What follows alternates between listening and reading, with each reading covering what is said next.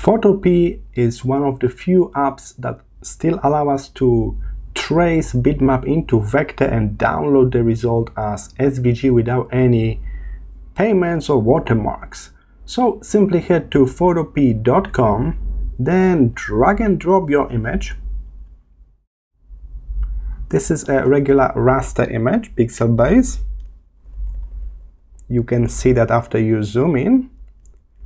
And now we're simply going to trace it into vectors head to the image menu at the top left, select Vectorize Bitmap. They will show you the original one plus the preview of the vector image. You may need to adjust that. Right now, he is thinking this is photo, it's definitely a cartoonish like image, so let's change this mode to cartoon. We wanna reduce noise, definitely, and merge colors.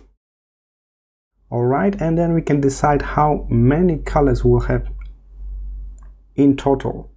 So let's quickly count. I think it's around eight.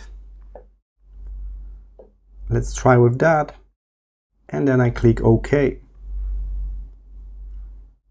so now I got the vector version of that image as you can see is not perfect but it's all in vector path so it can be scaled up and down without losing quality.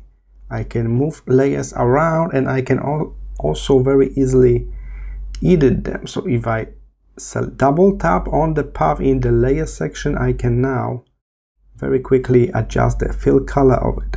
All right. So that's definitely a big benefit of having proper vector objects. Okay, let's try one more time with different image. Again, we simply drag and drop the image to Photopea. Here it is, then select image, vectorize bitmap. You will see a preview here. Remember, you can modify some settings at the top if you like. Click OK and you will end up with the vector version that's going to be scaled up and down without losing quality. To save this as the new vector version, you simply click File, Export As and select SVG and this way you will get the fully scarable version. Let's save it.